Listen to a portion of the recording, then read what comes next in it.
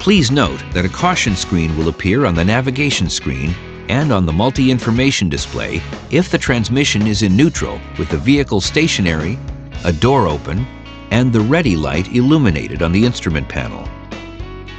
This caution is designed to avoid the high voltage battery from being discharged unnecessarily.